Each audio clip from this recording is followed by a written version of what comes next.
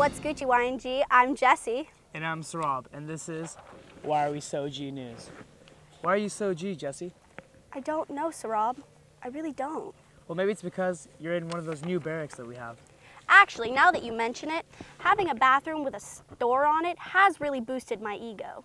With more on this developing story, we have Ross and Shannon getting comfortable in their new cribs. Two delegations have found themselves in the old barracks, this Bob. Inside, the conditions are poor. Towels are becoming dislodged from the ground. The privacy in the bathroom is limited to a single curtain, and the walls are cracked and graffitied. The condition of the old barracks begs the question what are the new barracks like? Shannon Nelson is about to find out. We're here at the NCDM Girls Barracks. Let's go check out the new renovations. Hey, welcome to my crib.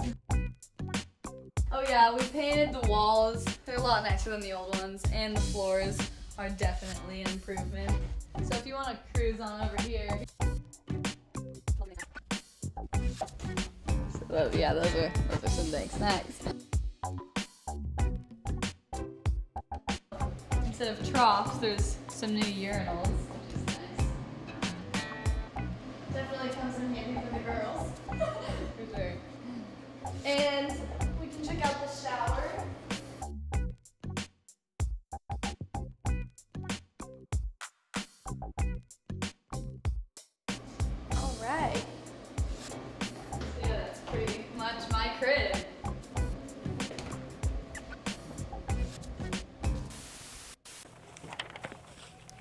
Wow, what a game changer. Don't you think? I've got two words for you game changing. Now to Katie with World News. Yesterday, a gay rights protester was detained in Voronezh, Russia. Pavel Lebedev unfurled a rainbow flag during the Olympic torch relay as the torch was being run through his hometown. Olympic security tackled Lebedev into the snow while awaiting police. With the Sochi Winter Games just around the corner, Russian President Vladimir Putin's legal ban on gay propaganda has continually sparked international controversy, with controversies between athletes, political leaders, and homophobia surrounding the Games. Thanks, Katie. With a shockingly low turnout last night at the YNG Film Festival compared to last year's Square Dance, some wonder why YNG? For more on this, we go to Ross and Trent. There's thousands of unoccupied seats. As many delegates are complaining at this hour, they'd rather just go to sleep. Well, it's a bit low energy, kind of tired. You're gonna get back to the barracks, sleep for a while. You know, long day. You know, I think it's really good to have like new ideas and stuff, but like our delegation, we didn't even hear about this film festival until today. So like I really would have liked to uh, like contribute, but we didn't know about it. There wasn't really much information about it. No one really knew what was going on. After sitting in uh, session for like two hours, no one really wants to stay. And there's also been calls for a return of the Square Dance, which was removed this year and replaced with the film festival. Yeah, I want the square dance back, to be honest. Yeah. The project organizer, Jimmy Goga, intends on improving the festival in future years by getting the word out earlier. He was quick to remind us that social events often need a few years to develop. As the wise Beyonce Knowles once said, who runs the world? Girls. Last night at the Big Top Tent, both male and females went up to speak to young ladies of YNG. The purpose of this discussion was to inspire in, and empower women to stand up, speak up, and run the world how we see it. More on this female domination, we go to Holly. After the candidates' speeches, delegates met in the forum tent with Landy Watson, head of FLIP. I started FLIP last year after the Women in Leadership session that was hosted by the female board members and uh, the chief of staff.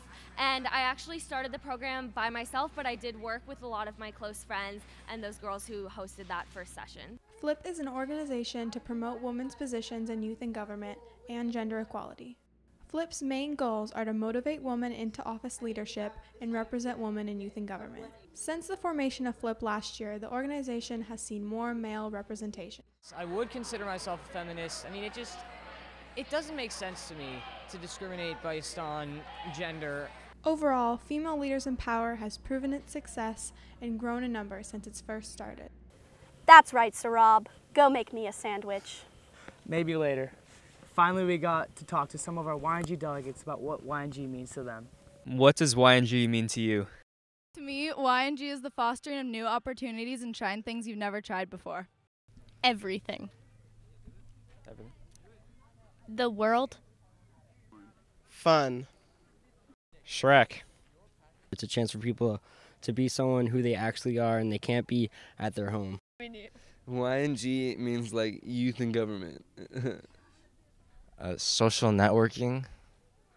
It means an opportunity to speak your own opinions.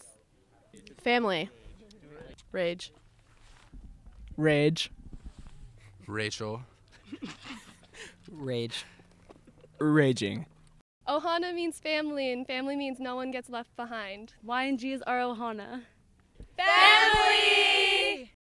I am standing in front of the headquarters for political parties. I had the chance to interview each of the committee chairs. Let's see what they had to say. Hello, my name is Nate Posen. I am the chair of the Wonka Party, and uh, essentially what we stand for is equality of opportunity regardless of race, gender, or sexual orientation. What we want for everyone is that golden opportunity that Charlie had in the movie Willy Wonka and the, Charlie, in the Chocolate Factory. Hi, my name is Ben Lazebnik, and I'm the chair of the Block Party. The Block Party stands for two main issues, which we believe to be the two defining issues of our generation. The first of these issues is equality. The second issue that we believe is essential for us to solve and address as a generation is climate change. Hi, I'm Mackenzie Boss. I'm with the Search Party, and our party stands for three things that's education reform, equality, and job creation. Hi, I'm Benjamin Combs Perez, a representative from the, from the Grizzly Party. And what we stand for is education reform, job creation, and health and safety. If you're interested in health and safety, you should come to our party. The political parties are starting their recruitment process a lot later this year. They're starting this at Sacramento because they believe that everyone should be informed before they make their choice. This is Haley Tangent broadcasting to you from Camp Roberts. That wraps up our coverage for Bob, too. I gotta go make Jesse a sandwich. Hmm. So, from everyone here at Why Are We So G News, stay beautiful, YNG. See at Club Bob. Good yard. All right. Cut.